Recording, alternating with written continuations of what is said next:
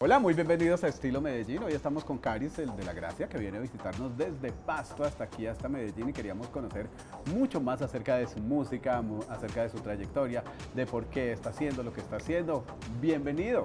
Ok, muchísimas gracias primero que todo a, Papá Dios por la oportunidad, a ti Sergio por abrirnos las puertas de, este gran evento, a, Tele, Telemedellín por estar aquí y a ustedes muchísimas gracias, yo soy Caris, vengo de la ciudad de Pasto y contento de estar aquí representando nuestro departamento.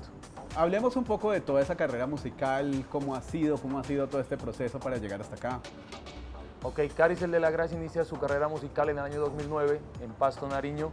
Estuvo en varios dúos hasta que en el 2020 hicimos eh, la, capacidad, pudimos de, volvernos eh, artistas independientes y como solista he sacado ya varios temas musicales, entre ellos el que ya estamos promocionando en este día, que es Soba Soba, una canción muy al tiempo de antes, muy reggaetón clásico, así que venimos a promocionarla con todo para que conozcan un poco de Caris, el de la Gracia.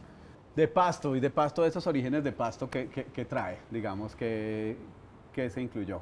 Ok, bueno, de Pasto, de Pasto, mi, mi, familia de parte de mi mamá es de la costa atlántica, de Corozal Sucre, mi papá es de Pasto Nariño, así que toda mi vida Hemos estado allá en Pasto, un pastuso más, orgulloso de representar a mi tierra y desde ahí vienen esos orígenes que, igual con eso impulsamos a nuestra música para hacer esto diferente que traemos al mercado, que es Soba Soba, lo que venimos a, promocionar acá en Medellín. Hoy queríamos preguntarle sobre redes sociales, plataformas, dónde lo pueden encontrar. Claro que sí, Sergio, eh, me pueden encontrar como Caris, el de la Gracia, en todas las redes sociales, en todas mis plataformas y gracias por seguirme y por la oportunidad que nos dieron de estar aquí. Todo es por gracia. Y ustedes sigan conectados con toda la programación de Telemedellín aquí TV y recuerden que la moda pasa, pero el estilo permanece.